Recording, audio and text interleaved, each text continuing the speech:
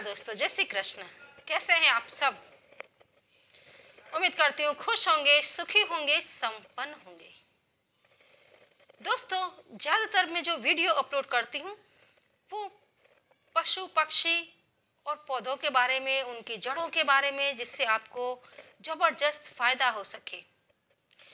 इस प्रकृति में, इस सृष्टि में दोस्तों, जो हमारे आसपास जीव हैं, वो बहुत अनमोल हैं। हर जीव के अंदर कोई ना कोई ऐसी शक्ति पड़ी होती है जो आपकी, अपनी, आपकी लाइफ की तकलीफ़ को दूर कर सकती है। सिर्फ़ आपको पता होना चाहिए कि वो कौन सा जीव या कौन सा पेड़ या पौधा है जिसके अंदर वो चीज़ है जिसकी आपको ज़रूरत है। आज आपको ऐसे ही एक पक्षी के बारे में बता रही हूँ दोस्तों।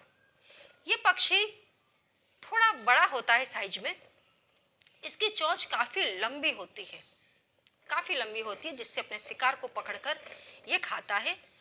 इसकी बॉडी के ऊपर आपको थोड़ी ऐसी धारी जैसी दिखाई देंगी लाइन जैसी बनी हुई दिखाई देती है। स्वभाव इसका काफ़ी शांत होता है। बहुत ही बढ़िया पक्षी है दोस्तों।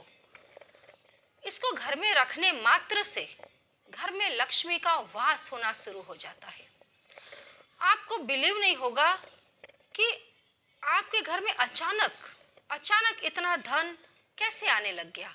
आपके घर में इतना सुख, समृद्धि, घर के अंदर इतना प्रेम भाव कैसे बढ़ने लग गया?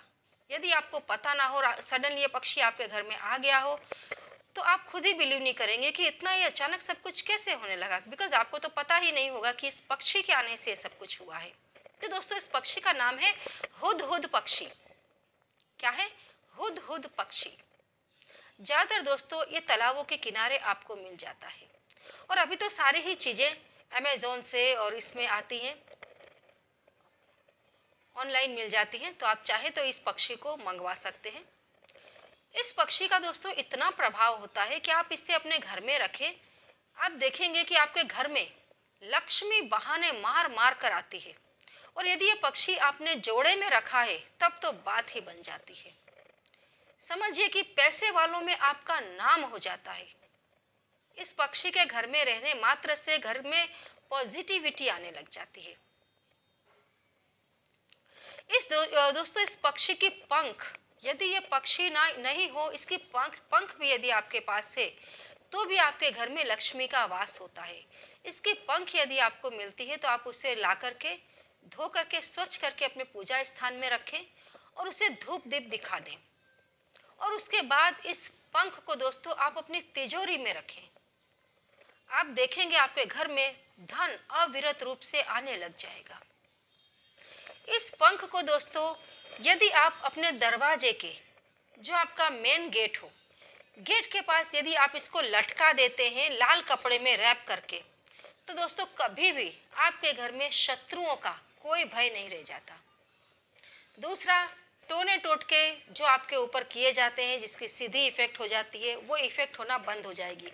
कभी कभार हम जब बाहर से आते हैं तो रास्ते में भी हमारे साथ कितनी बार नेगेटिविटीज़ ऐसी होती है, जैसे हम चौराहे पर, चौराहे से निकल करके आए हैं। रास्ते में हम किसी के पास खड़े हैं और चलते समय बोलते हैं कि हाँ चलो। ऐसे समय पर भी कितनी बार बुरी चीज़ें हमारे साथ आ जाती है, हमें पता नहीं होता है और सीधी हमारे घर में अंदर आ जाती है।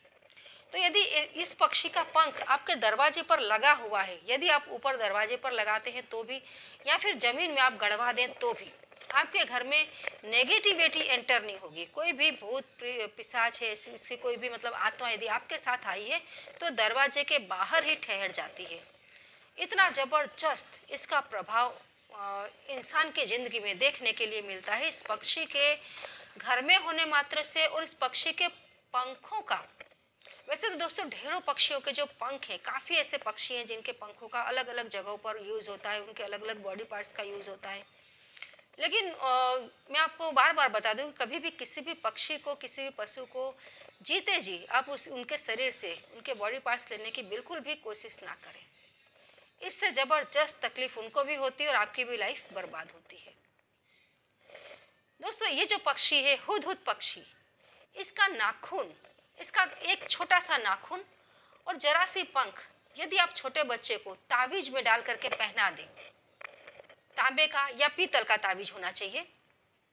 इन दोनों में से कोई एक भी एक धातु होगी तो चलेगा। इस तावीज में डाल करके आप उसे पहना दें। कभी भी उस बच्चे के ऊपर किसी भी तरीके का टोना टोटका नहीं लगेगा। बुरी नज़र नहीं लगेगी। कभी भी कोई भूत पिशाच उसे परेशान नहीं करेंगे।